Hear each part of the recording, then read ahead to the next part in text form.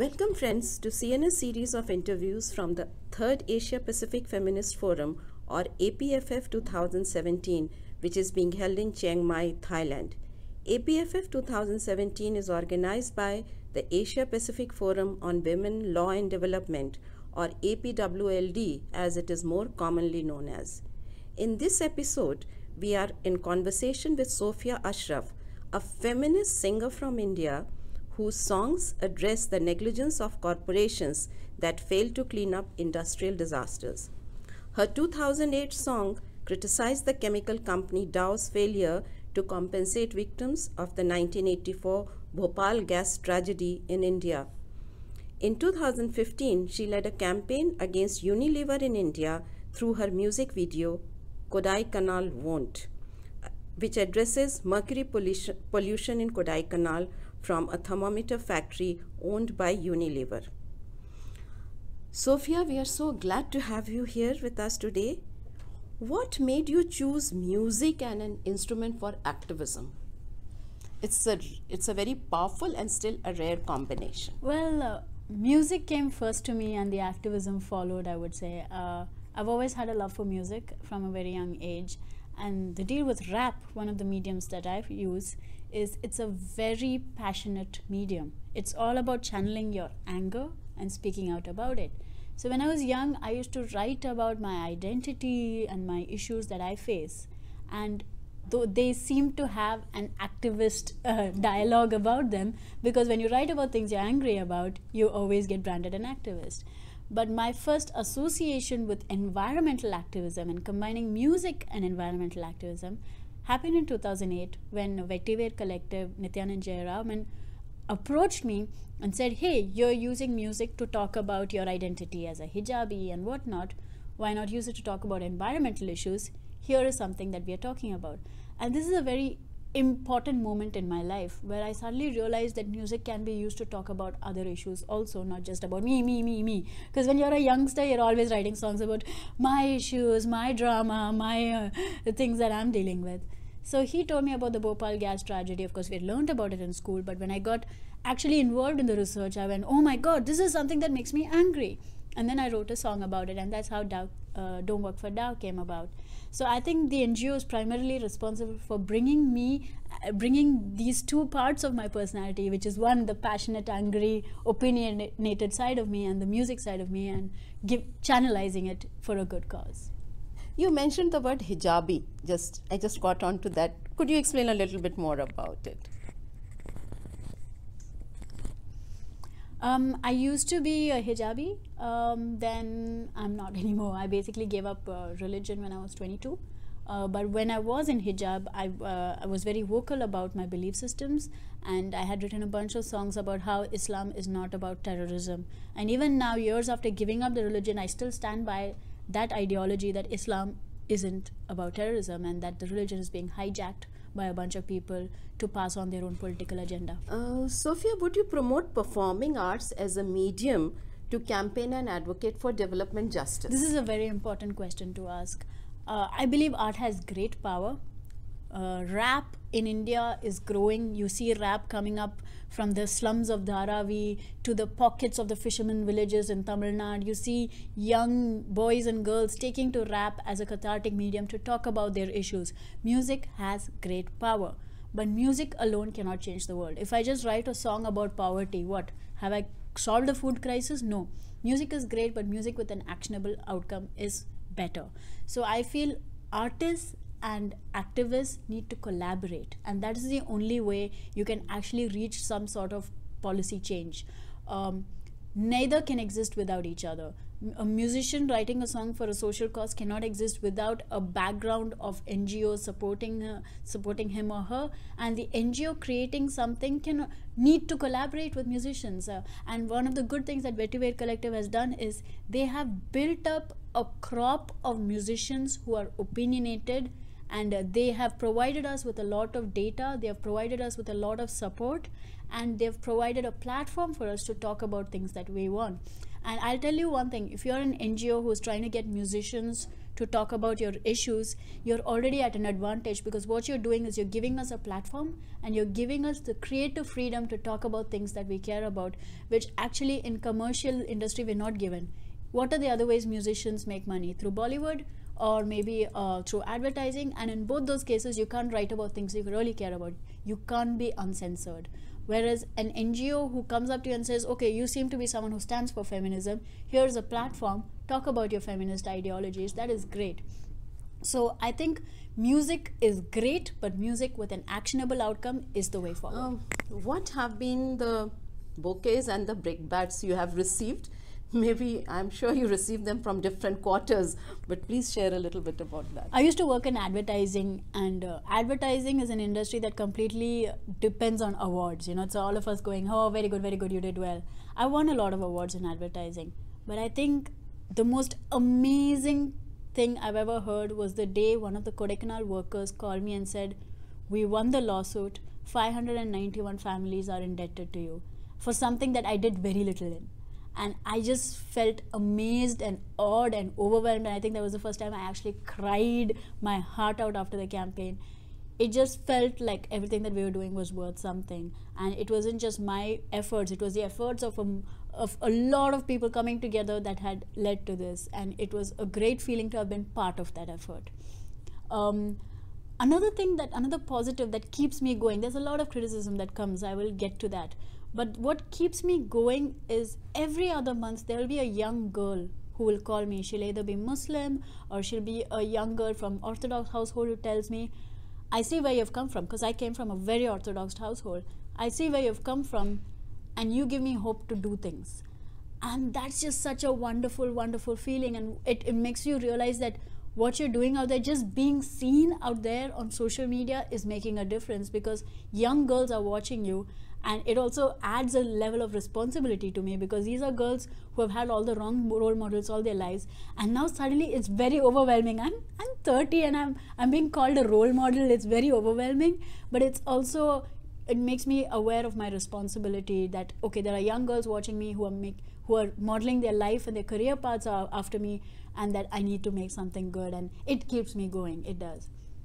The brickbats there have been a lot of uh, negative criticism because I am uh, overtly atheist. Um, the apostasy in, in, our country is not looked upon kindly, and I have faced a lot of uh, pressure from family and from society. And uh, people have always uh, looked down on me as someone with no morals just because I don't believe in organized religion. Uh, I get a lot of hate comments, I get de death threats, I get rape threats online the more if you are a woman creating content online you will be sexually harassed online. And this is something i have learned to deal with. When i was younger i was not so smart and i used to engage with them. I used to fight back. I used to be angry right back. But now i've realized that it is one of it is part and parcel. It needs to change but it is part and parcel of putting yourself out there and i've learned to deal with it. But the deal is for every thousand guys out there who come and give me rape threats and death threats there will be one family member this I have a cousin, he's fully bearded, you know, what we call the Tablighi Muslim, the fundamental Muslim. His wife's in Niqab. He comes up to me and he says, Sophie, I'm proud of you. You're more Muslim than the rest of us because you are doing what you believe is right. And you know, just that one comment just drowns out the thousand other voices. I would like to make a very interesting statement. I have gone up against corporates, I've gone up against the government, I've gone outside the chief minister's house and, and uh, done protests.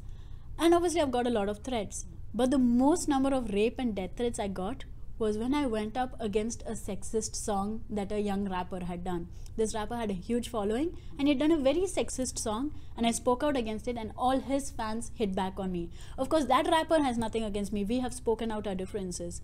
But it's interesting that I have challenged corporations, I have challenged governments, but challenging patriarchy is what got me the most hate because of the fragile male ego that some parts of our country holds. Any backlash from the corporations which you took head on? I think before I start, I have to check my privilege. I do come from an upper class family. Um, I we are part of that society where people can't just slap a court case on us and eh, you know expect us to not have the money to fight back and um, Hindustan Unilever has not slapped any defamation cases on me or tried underhand techniques to uh, bring me down. I have not had uh, actual physical uh, uh, threats to my life. So I have been very lucky that way, and I think it might be uh, ref- reflective of the privilege that I come from. The very same issues are taken up by uh, some of my uh, colleagues, and they're immediately jailed. They're they're uh, beaten up in prison. Uh, as you know about the recent issue that happened with Piyush, an activist, he was taken to jail and beaten up. We are both fighting for the same things, but I think there's some level of privilege that has protected me, and I think uh, if I did not mention it, uh, that would be lacking of me. Uh, your songs speak for yourself, but still, Sofia, I would like your views on corporate capture and privatization, and what made you take them I used to be like a hardcore this. capitalist. I was all pro privatization and pro capitalist agenda because I truly believed that uh, a lot of the problems of this world could be solved by privatization because I felt the government was not doing a good enough job and I felt privatization would solve a lot of our problems. But the more that I associate with NGOs and I see uh, how the corporate uh, agenda is is a demon in itself and how corporates can become an eventual political power and how actually today everything from the UN to our political to our governments are held in the fist of corporates. I'm not so convinced anymore. So i'm right now at the part where i'm kind of moving away from my capitalist agenda. I'm and moving towards the um, uh, i wouldn't say anti-corporate because i don't believe humankind can survive without companies but maybe uh, we, what we need now is to reassess our ideas of companies and limit the power that those companies have over people and governments most importantly um, I, I grew up in a capitalist environment so I, I grew up believing money was everything, hard work was everything. You know that that whole corporate agenda of working from nine to nine the next morning. You know, romanticizing the idea of overwork and it's all because of the idea of being sheep to the corporate agenda. I'm finally starting to see it. In fact i would like to segue a little and talk about one of the incidents. In chennai had the floods mumbai had the floods. And you know immediately after the floods they talk about the mumbai spirit. That people got back on their horses and went to work. I think that's a horrible thing. The fact that we had a flood and people are immediately going to work without going, wait, let us assess the situation. Let us figure out where we went wrong. Let us figure out what caused the floods. We're not doing that because what the government and the corporates want us to do is go back to work. So they laud the spirit of the Mumbai spirit, the, re- the resilience of the people. So that these are the ways in which the corporate agenda has percolated public consciousness. And in those ways, I believe it's wrong. Again, I don't believe all corporations are wrong because I believe corporations are made of people and people are good people are innate they people have the innate ability to do good. So i believe while corporations as an identity can create a lot of issues the people in the corporations we need to add the focus back on the people in the corporations and appeal to their humanity. What does apff mean to you and to the people you work with? One of the biggest struggles i've been trying to battle now is trying to build a so- sense of solidarity between feminists.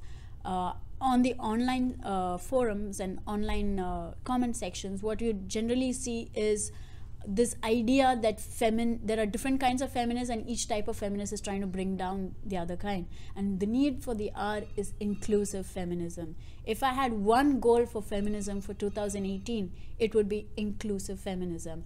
And places spaces like apff just make me feel secure and hopeful that this sort of solidarity is possible. What you saw today, we have everyone from uh, disabled people to people uh, from different parts of Asia Pacific coming together. We had there's no class divide, there's no caste divide, and there is no uh, idea of my feminism is better than your feminism, which unfortunately I see a lot on the online uh, uh, field where a lot of people believe that my sense of feminism is better than your sense of feminism because you are a privileged feminist and I am an, I'm a rural feminist and I'm fighting the real issues, you're not fighting real issues.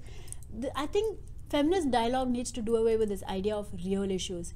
Every issue is an issue if if if it attacks the basic human rights of a woman.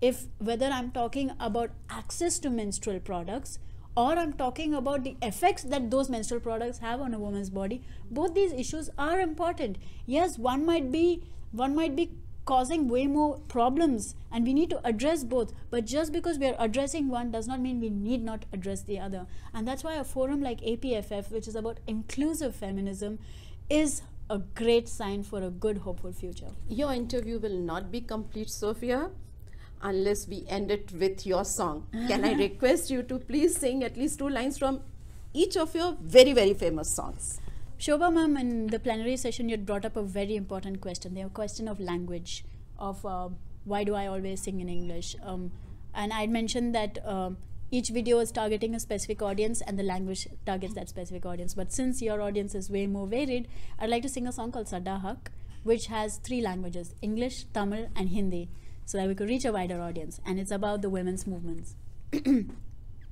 सड्डा हकना you can stop us ऐते रख मुझे दे दो वापस। ये कोई आपस आपस में खेलने का गेम नहीं। Time I claim my rights and fight for my dignity come on my women stick with me let's stick it to this wicked and sick excuse for democracy दिन दिन चक दिन दिन चक गिन गिन करके दिन को रख सुरक्षा कोई ऐसा नहीं हक है मेरी बर्दाश्त नहीं होगा हमसे अब रोना आज से बंद क्यों ना लड़े हम खोने के लिए बचा है क्या வாரா தோழி வாராயோ நீ காணாமல் என் போராயோ தன் தெருவில் தெரிய திரிய வளர உரிமை எப்போல் பெறுவாயோ வடிகட்டி கொடியேற்றி கல்வி பெற்று நீயே சுதந்திர நாள் கொண்டாடுவாயோ ஆனா சுதந்திரத்தை இழந்தாயோ தேசிய உரிமை இழந்தாயோ சட்டா ஹக் ஏத்தே ரக் சட்டா ஹக் ஏத்தே rock Sada hak ete rock. sada hak ete ete rock. That was super, super good, Sofia.